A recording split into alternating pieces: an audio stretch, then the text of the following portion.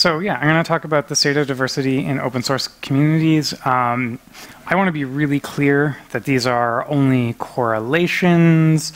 I'm not claiming any causal links one way or another. Um, we can we can certainly talk about what they might be, but the the methodologies used are not such that I really feel comfortable claiming any causal links. Um, and yep, uh, this is me. This is Boo. She is my co-presenter. You may recognize her from the morning's keynote where she was hanging out with Gris. Uh, she's she's really good on stage. Uh, so yeah, I'm Holden. My preferred pronouns are she or her. I'm a developer advocate at Google. I'm on the Spark PMC, uh, which means it's really hard to get me off of the Spark project, which is good because I like Spark. Um, and I contribute to a lot of other Apache projects. Um, I've worked at a whole bunch of other companies. Uh, they were all very nice people and paid me money. Um, I'm a co-author of two books which are unrelated to any of the content discussed here, but that should not stop you from buying them. Um, especially high performance Spark. I got a much better royalty deal on that one. It turns out you can negotiate. Um, if anyone's interested in sort of seeing open source code reviews live streamed, um, I think it's more interesting than watching paint dry. You may disagree. Uh, you can check out my YouTube channel here, uh, and you can sort of see um, the thought process that goes into at least how I do my open source code reviews. Um, and sometimes people join, and, and there's chats, and people find issues that I wouldn't have found, and we get to have those conversations. Um, I've got a bunch of random Spark videos because that's a lot of what I do as well. Um, in addition to who I am professionally, I'm trans, queer, Canadian in America on an H-1B work visa that expires on April 2020.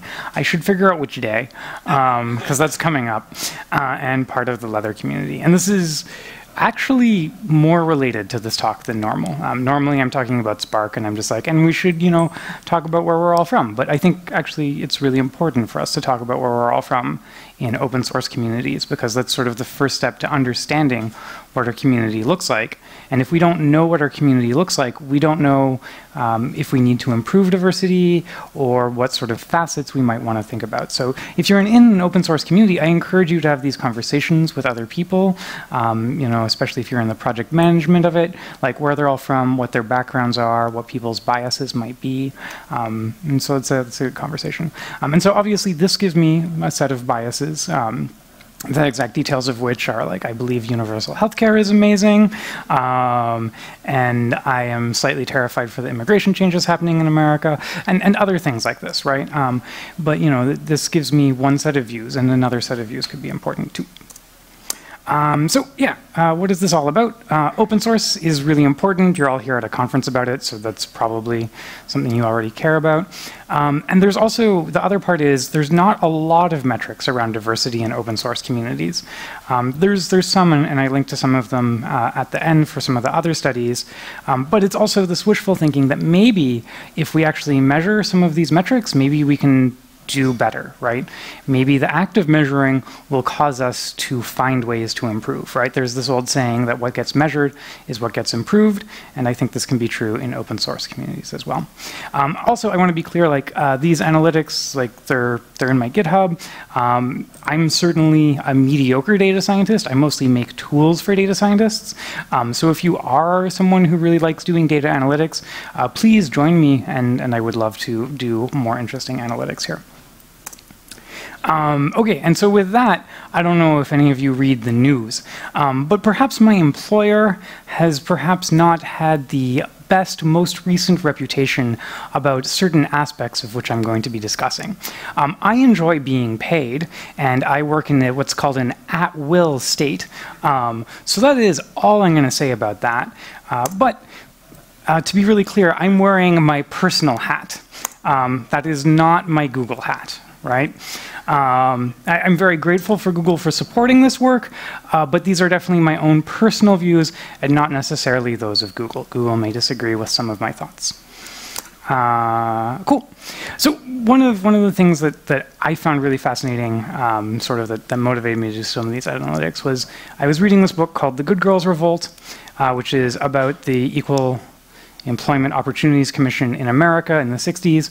Um, and one of the, one of the things that uh, people said in response to some of the complaints there, um, and it was writers come to the magazine over the transom and women aren't coming. We can't do anything if they aren't interested. Has anyone heard something similar to that in our open source communities? Yeah, and that's that's a lot of nodding heads. Um, for those of you watching the recording, you can trust me on this one. Um, but even if you don't, uh, we can see RMS perhaps saying something pretty similar about Emacs and GCC, right? Um, and so I, I think that there's this belief that you know it's not our problem; it's just that people aren't interested. Um, and I think I think some of these analytics might suggest that that's not the case, right? Um, there are some recent studies.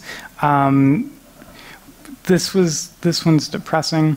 Um, researchers found women's coding suggestions were accepted 71% of the time when their gender was kept secret, and 62% of the time when their gender was revealed. Ooh. I mean, that's that's a difference. Um, and also, there there was just like. Uh, 25% of the women surveyed uh, reported being exposed to language or content that made them uncomfortable. Now, that's that's definitely a thing with cross-cultural communication that can happen unintentionally. Uh, certainly, I've occasionally made people uncomfortable by saying uh, certain words um, that rhyme with truck um, because I don't know. Uh, to me, it's very normal, but to other people, it makes them feel very uncomfortable. And I, I try and not do this, um, but it's it's a thing. Um, and this is one of the things which actually made me wonder: maybe there's something in the language of a project which might be correlated with project diversity. Maybe there's something there. I should do some analytics here and try and explore this. Um, so what have we done? Uh, and so it's just me and Boo on stage. And while I love Boo, she didn't do any of the programming. Um, I had some some lovely help, and, and, there's a call outside to that later. Uh, but so when I use we, it's not the royal we. I'm not that into myself.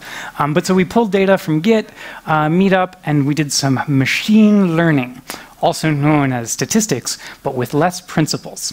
Um, uh, and then I also used some humans because I was like, you know what, uh, maybe I should do some surveys. Uh, that might be kind of interesting. And we made some pretty-ish pictures. They weren't very good, but I did find a lot of cat pictures. Um, so just sort of average out the cuteness of the cat and the graph on all of the slides, and, and this will be okay. Right, so to be clear, this is this is just correlation. This is not causation. Um, this is also not legal advice or academic quality data. Uh, lawyer Cat would be very upset um, if I was implying that uh, any of these things were legal advice, and, and my reference to the EEOC was simply uh, for comparison, in no way implying that there could be any direct relationship here.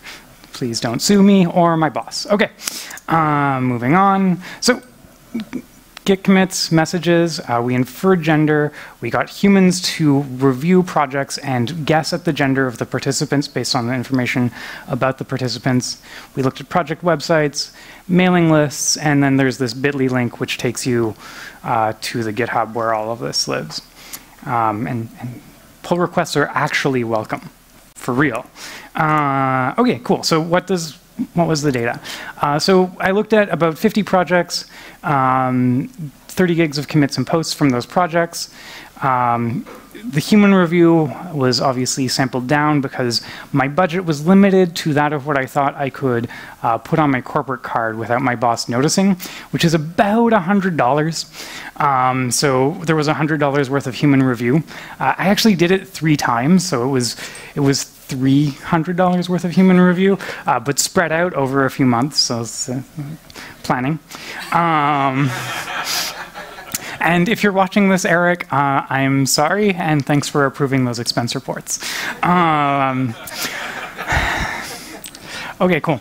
Uh, and then, okay, then we also, we had slightly different data that we used for the country contributions, and we looked at 11 gigs worth of commits for that. Um, and we also only looked at individuals with at least one commit in a one-year window from the time that I took the snapshot of the data.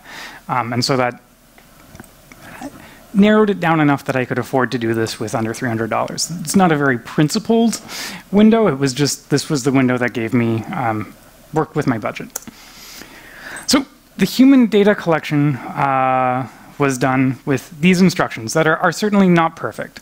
Um, and it depends on the cultural bias of random humans from the internet who I can hire from a uh, website whose name I'm not going to mention because I enjoy being employed. Um, but we, we asked them to find the gender of the user in question. Uh, we gave them some sample emails that had been sent in response to the user on the mailing list. Um, so this, this brings in the bias of other people on the mailing list, but the hope was that maybe people in the project would use the correct pronouns for the people they were interacting with, especially if they'd been on the project for a while. Um, and so, so the hope was they, a human reviewer could extract that information. Um, and then we also told them to feel free to search online. Um, and we tried to infer LinkedIn and Twitter information uh, for users. Some people list it um, in their like ASF stuff, but that only really worked for the very prolific contributors. The, the smaller contributors tended to have less information in their profile. So there's definitely some bias introduced uh, there as well. And uh, then we also asked them to list to all of the th resources that they use to try and infer this user's gender so that uh, when I another month goes by, I can pay someone else $100 uh, on that corporate card to look through the data and do a, do a double check. But I, I have to wait for the next billing cycle to come around. Otherwise, Eric is going to start to get suspicious. Uh, so step one, any, any good data scientist starts with eyeballing. Well, hmm, okay, at least I always start with eyeballing because I don't know what the hell I'm doing. So let's take a look at what some of this data looks like. Um, so if we group together by project, um, and we look at the inferred non-male percentage and the sampled non-male percentage. Um, and so we asked people, you know, what gender people were, and, and um, there was only one person in the entire data set who came back uh, as non-binary. Everyone else was male or female. Um, that represents obviously the bias of the reviewers to a degree, um, but that's that's why non-male rather than female. Um, and we can see there's there's a really tall bar and so that, that's an exciting tall bar. Um, there's also another bar in here uh, which is not from the ASF. So I also looked at some, some projects from Jupyter because I wanted to see like maybe the ASF is doing really well or really poorly.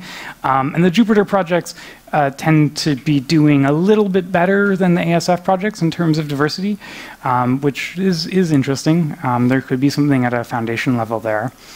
Um, but then there's also CouchDB uh, is an ASF project, relatively high diversity for, for these projects. Um, and they actually do a bunch of explicit outreach as well, uh, which which could be correlated. Um, hopefully, their explicit outreach actually does have some effect, and, and that's what we're seeing reflected here in the data. Uh, but it could also be something else. Um, and right, yeah, so there are limitations that apply. This may under or over count in certain situations because it's sampled and um, computers are terrible.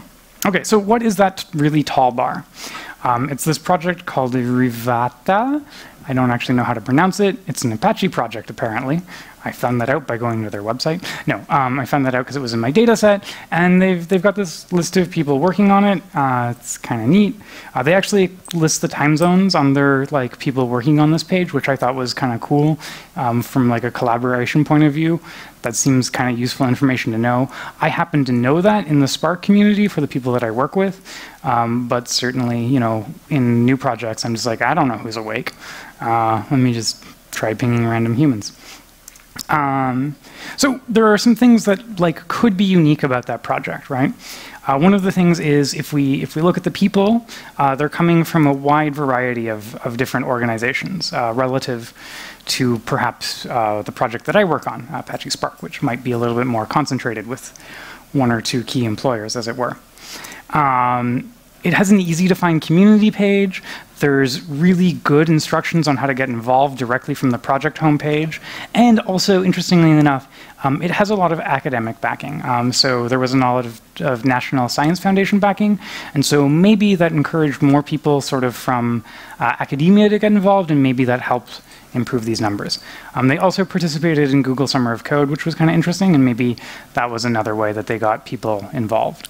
Um, so that's, those, those are some things, you know, um, this isn't like a very statistically significant sample. We're looking at one project, but certainly we're looking at the one project which definitely stood out the most. So that's kind of cool.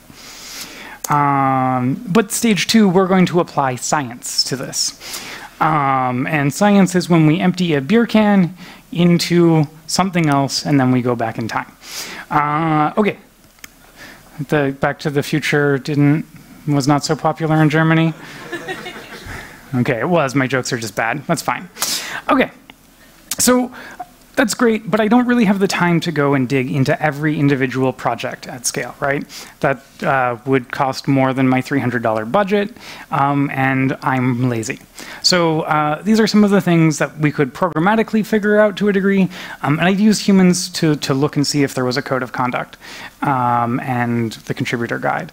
Um, but we can look at things like um, the sentiment of the project on the user dev list using sentiment analysis, and maybe we'll see something interesting there with the language based on our, our earlier study about uh, women tending to experience language that made them uncomfortable. So maybe there's something there.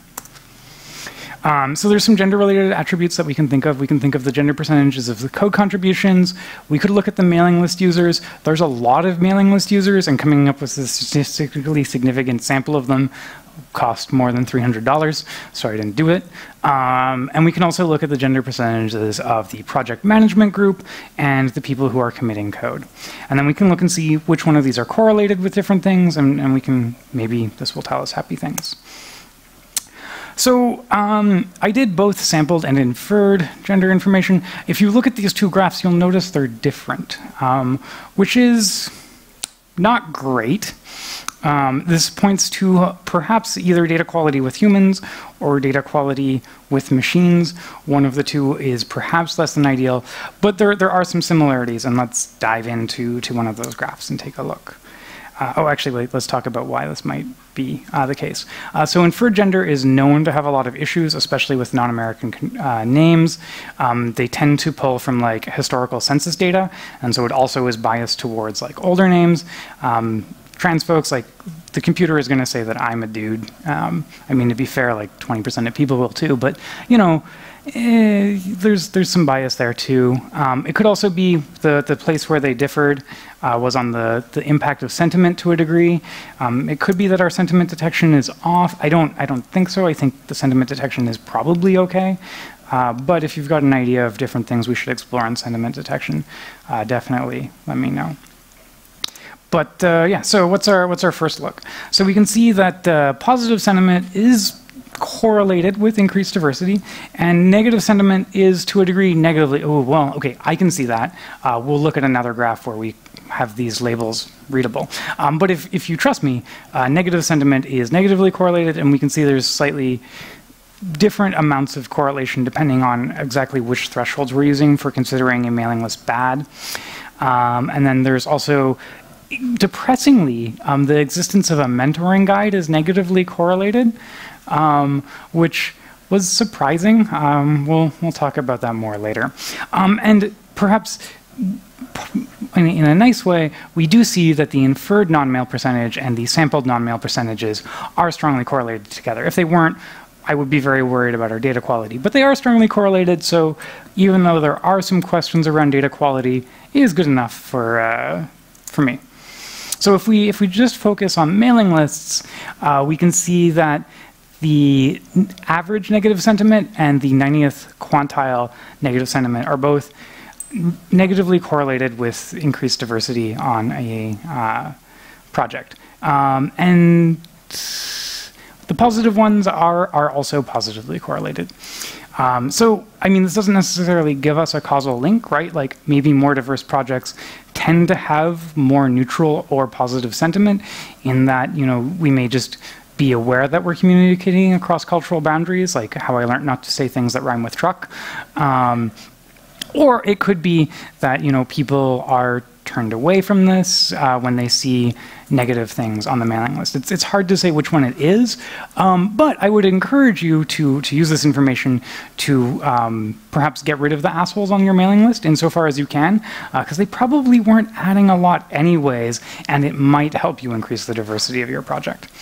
Uh, okay, so the, the committer guide, that one was sad. Um, okay, so on on on a positive side, non-male committer percentage is strongly correlated with increased diversity of contributors, um, and this could just be that we're like pulling from that contributor pool to make our committers, um, and that's good, right? Like if this was not strongly correlated, that would make me sad. That would mean that we're not like pulling from that pool; we're just pulling from the pool of of dudes. Um, and so this is this is good. Or it could also be that having non-male committers tends to attract more non-male contributors. Who knows? But uh, yeah, whatever. It's cool. Uh, on inferred data, it looks pretty similar, but the, the exact values are a little bit different. Um, and so that's that's reassuring to a degree. It's, it's not quite the same, but it's, you know, it's good. Um, so yeah, interestingly enough, the code of conduct being explicitly declared on the project page uh, was was not correlated. It was just neutral. Um, and this this could be that we're pulling from ASF projects, right? Um, all ASF projects are like part of the Apache Software Foundation, which does have a code of conduct. So it, it could just be like kind of neutral when your project says it, because like in practice, yeah, we're all supposed to be not assholes to each other. Um, or maybe it's something else. Uh, the mentoring guide one really confused me. Um, I don't have a good explanation for that, but that's okay. You, you all can come up with a reason for that. This does not mean go delete your mentoring guides. Um, this just means like maybe take a look at them. Maybe the mentoring guides tend to have language which makes people not happy. Maybe there's something there in our mentoring guides that we should dig into and see uh, what's going on. Maybe there's there's some opportunities for improvement there. Um, so one of the other things that I was curious about is the impact of programming language. Um, and this did not match my expectations at all when I made this chart yesterday. Um, well, actually, technically this morning, because uh, I reran it because I didn't trust myself. Um, but we can see here that uh, some languages are, you know, they, they seem to have uh, higher percentages. So this is, I should, I should explain, this is the programming language, and this is the min, max, and average of the projects that are have that as the primary programming language of what their diversity numbers are on gender. Um, and Python is just zero across the board, which is not the answer I was expecting, right? Um, and one of the things is that this is actually just on the ASF data. It's not on the Jupyter data. Um, if it was on the Jupyter data and it gave me back zero across the board, I would have been like, hmm, well, it's time to delete that graph. Uh, but if, if we dig into this, we can see there's not a lot of um, Apache projects with Python as their primary detected language. Uh, so each project was only assigned one language, and it was whichever one GitHub decided to assign to it, which we all know is perfect. Um, but you know, perhaps uh, you know one could argue that that Spark really should be Scala and Python. Uh, and then we'd, we'd get different numbers, but uh, this was the, the easier approach. And so since there's only like one or two projects in the Python one, I think we should probably just discount this uh, field, and we can look at the other ones. The other ones all have some reasonable number of projects uh, in them.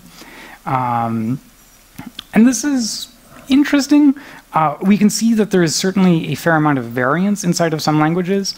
Um, so we can see that uh, there are uh, more diverse Scala projects and less diverse Scala projects. So it's not simply a matter of reflecting the programming language that we're pulling from. Uh, we can certainly see that there's a difference between the min and the max and, and the average there. Uh, so that's kind of interesting, right? We can't just use the programming language excuse and just be like, nah, no one likes Java. Because uh, it turns out some people really do who, who aren't male and, and they contribute to ASF projects, right? And that's, that's really awesome. And so it's not just that we use Java a lot. Um, not that there's anything wrong with Java. Well, there is a lot. Um, but Okay, yeah. Um, okay, so so the other question which I had, um, because how many of you have become a committer on an Apache project? Okay, keep your hands up if you felt that process was fair and easy. Okay, so it got cut by half Um, and so one of the things that I was curious is, you know, perhaps it's it's possible that because uh, many projects tend to submit uh, tend to select committers by consensus voting, um, that maybe we're allowing biases to unintentionally creep into that process, right? Um, consensus voting is like everyone agrees, no one vetoes, um, and this is how you end up eating at uh, in America the Olive Garden, um, or sorry, no, no, the Cheesecake Factory, Cheesecake Factory. Uh, okay, you do not have Olive Garden or Cheesecake Factory here, um, but it's how you end up eating somewhere really bland and mediocre, right? When you're just like all of your friends, anyone who has any objection can just be like, no, right? And so maybe this is leading to blander um, project makeup. Uh, it looks like maybe not so much. We, we tend to see, right, as, as we saw in that correlation slide earlier, that the, uh, there, there is a correlation between the number of non-male contributors and the number of non-male committers. Um, and we, we tend to see that broken out for most projects. Um, some of them, though, are certainly very different. Um, and if you want, you can look at this graph uh, later with like a magnifying glass, uh, or you can go to the the, the Bitly link where the the notebook is, and you can you can look at this graph specifically. Uh, yeah. All right. Cool. So gender is one of many aspects of diversity of a project. Um, there's also where people are from. Um, and it turns out there are a lot of people from Germany, so uh, good job. Um, uh, the US is probably undercounted here on the basis of that whole .com thing, uh, which was just blew everything out of the water, but dot .com is, is sufficiently popular for just all commercial organizations, regardless of country, that it, it was kind of difficult to figure out where folks were from. Um, and so this is this is kind of interesting. Uh, we see this this trail off. Canada's here. Yeah. Anyone else from Canada? Yay, go team. Okay. Um, so like Canada's in the top five, and like as Canadians, I feel like that's the Canadian version of gold. Um, so, you know, you don't want to be number one, right? Because then that's that's just oof, that's a lot of apologies. Um, sorry, cultural stereotypes. Um, but they're, they're from my own culture, so I think it's okay. That's how it works, right? Anyway, okay, moving on. Um, okay, and so if we if we take uniques rather than just looking at all of the contributions, right? So if like I contribute 100 patches to to Spark, is uh, you know, do we count me as one or 100? If if we do this. Um, the, the graph ends up looking pretty much the same. So it, it turns out that it's not just like there's a, bot in Germany that's contributing hundreds of thousands of patches. Uh, well, there may be, but that's not the only reason why. Or if there is, that bot is changing its email address a lot, uh, and you're probably going to get banned from the GitHub API. So, okay. Uh, so this is this is kind of interesting there too. Um, and there's there's a lot of other facets that we could explore here besides gender, but they're all really hard. Um, and when you have a budget of about whatever you can sneak past your boss, it's not a great budget, right? And so I really think that if we should explore um, a lot of these things. We, we often talk about diversity of employers in Apache projects, um, and I, I, think that would be a good thing for us to explicitly study outside of just you know PMC and committers. I think it makes sense to look where the contributions on the mailing list are coming from. Um, I think certainly all of these other facets are all really exciting too, and we should we should explore them. But I can't do it for $300. Um, and so, if anyone was, say, perhaps asking the ASF for money to do diversity work, you know, maybe this could be an interesting area that we could use to figure out uh, where or how we should focus our efforts to truly reflect the world that we're serving. Um, there's a whole bunch of related work, and it's all really depressing. Um, but if you're tired of being happy, I encourage you to check out these links. Um, or, as I like to say, uh, everything thing is uh, awesome. Yes, yes, awesome. Right. I don't actually. Um, if you want to see videos of a Spark committer struggling to use Spark, uh, there's this lovely Bitly link down at the bottom, uh, wherein I try and use the software that I've worked on for six years, uh, and it turns out that the software that I've worked on is has some opportunities for improvement to use a phrase that I've uh, seen every performance review. Um, and so you can check that out there. Um, and hopefully that, that, that makes you feel confident enough that you can help contribute to doing these analytics uh, with me. Um, and special thanks. Uh, this wasn't just me. There were many lovely people. Uh, and Spencer, who is my former O'Reilly editor. Um, she's the head of content at Domino Data Lab did a lot of early work with me on this. Um, Matt gave an earlier version of this talk with me uh, and pointed out that the graphs looked like shit. Um, they still do, but less so. And I added cat pictures, so that helps, right? Um, and, and Gris did the geographic analysis, um, which is, is very useful. Um, if you want to participate, please come and join me. Um, doing this work by yourself is a really good way to feel really sad about the world. Um, and if you get multiple people together working on diversity stuff, when you burn out, you know, you've got someone else to talk to. Uh, so that's useful. Uh, you, but you might burn out. Um, just fair warning. Uh, and you could say, hi, I'm going to be around Berlin for the next few days. Um, and if I manage to do like one business meeting uh, between now and when I leave, it'll look a lot less sketchy on my expense reports. Uh, otherwise, eh, uh, I'll swing by the, the Beam Summit. Um, okay, so as a book author um, of a book that is admittedly completely unrelated to this talk, I would be remiss if I did not try and tell you about my book you should buy it. Okay, great. Um, moving on.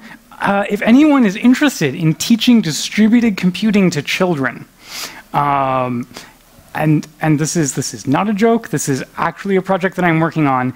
Um, distributed computing forkids.com. You can give me your email address, and because you're European, I won't spam you. I will selectively contact you for business related reasons. Uh, and there is an unsubscribe link, um, as mandated by law. Um, anyways, I think we can teach Apache Spark to children, preferably children who live in Europe, not America, so I don't have to answer their questions.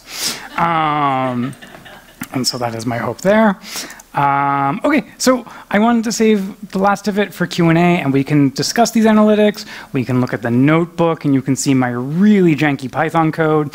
Um, know that I'm a Scala developer, so that's my excuse. But uh, does, does anyone have questions? I, I, would, I would love to, or, or thoughts. Questions? Anyone? Oh, sad. Clearly, I am just an amazing public speaker uh, who has answered everyone's possible questions. Yes? Does anyone want to look at a mediocre Python notebook? Oh. that is not the answer I was expecting. Okay. Here is a mediocre Python notebook. Uh, okay, yeah. Uh, so we can go up to the top. Uh, okay, Ooh, we'll ignore all of the Spark setup stuff because it's terrible. Uh, okay, more Spark setup, more Spark setup. Oh, some things that really should be functions in Spark. Moving past that. Okay, uh, here's where we extract the meetup data, which I never got around to or, uh, analyzing. If anyone wants to analyze the meetup data, um, I have a bunch of it um, I think it would be interesting to see if maybe like having meetups in different countries is correlated with any of these things. I think that could be a thing which might actually be really relevant. Um, yeah, and so there's a bunch of it that's just commented out because I didn't do that. Uh, we use Perceval to extract a lot of data from GitHub. Thank you, GitHub, for not blocking me. I really appreciate that, uh, although they do occasionally. If you run this notebook on your own, uh, be prepared to be rate limited by GitHub, uh, but they don't, they don't turn your account off. Not a guarantee. Uh, okay. Save our data, super happy fun times. I import a Python library, which is actually secretly a jar because I use Spark. Um, we look at some users. There's these two, Grant and Carl what's up. Um, then we use regular expressions to parse email addresses because I hate my life. Um, and uh, yeah, Um, we also try and extract names from email addresses because I was going to try and do some analytics on the mailing list, but that regular expression had some opportunities for improvement. Um, so if you like writing regular expressions, come join me. Uh, we look at the distinct authors. Um, we look up GitHub users by email address, so we, we get their commits, and then we go and we find their GitHub profile to try and get any information that might be present about them. Um, we also fetch their user bio. Some people put their pronouns in their bio. Please put your pronouns in your bio. It's really helpful when I run this pipeline. Um, but also, it's it's just good, and it, it, sort of normalizes that process, which I think would be would be good for the world. Uh, we have this really high quality UDF that just uh, yeah that that sleep rand int. Mm. Uh, that's some quality stuff. Um, this gets the language for a project. Um, so we get the committees and then we get their languages. Um, I use this thing called non blocking df save or load, also known as my notebook keeps crashing. Um, and so I just wanted to save them. It's uh, uh, terrible, but it works. Uh, aggregate a bunch of data. Oh yeah, I tried to scrape Crunchbase, but uh, yeah, as this comment says, robots.txt seems to be okay with it for now. Uh, last checked April 4th. Uh, since then, um, I don't think they are anymore, so it's commented out. Uh, we don't actually run that extraction anymore. I think they got um, frustrated. Uh, but Crunchbase had a bunch of information about uh, open source contributors for some reason. I don't know who put that information in there, but thanks. Get their information, do a bunch of stuff with it check that my sentiment analyzer uh, correctly detects the difference in sentiment between these two sentences. Um, and then we extract sentiment across all of the mailing list posts for a project. Yay! Um, and then there's a whole bunch of repartitioning because this is Spark and life is terrible. Ignore the exceptions. Uh, once again, this is Spark. That exception actually means everything is going okay.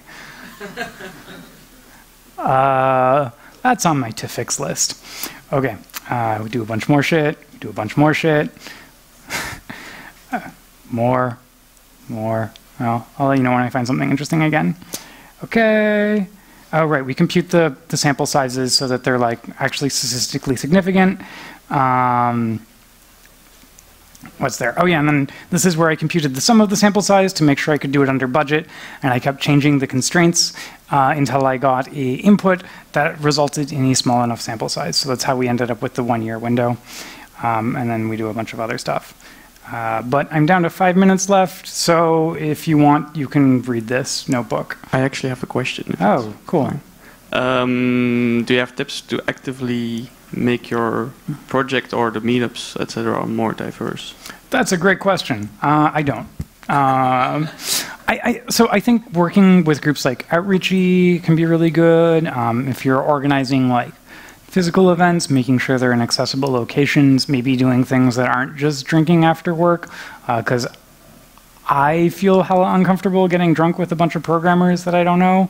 Um, and I imagine there are other people who also have similar comfort challenges around that. Um, there's there there are good resources about that. This is all just correlations, though, uh, and I don't. I, I was hoping if I stuck to correlations, I wouldn't get yelled at. Uh, so I, I don't want to go too much to specific advice. But you should talk to Gris, who is sitting right behind you, uh, when the camera's not running, and, and she can, or you can ask me again when the camera's not running. That that works too.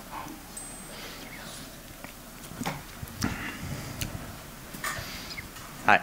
Um, did you maybe I missed it, but did you get a chance to like look at the diversity by country? Like, do certain countries do better than other countries? Oh no, I didn't. That's a great next thing to do. Yeah, it's, that'd be cool to see.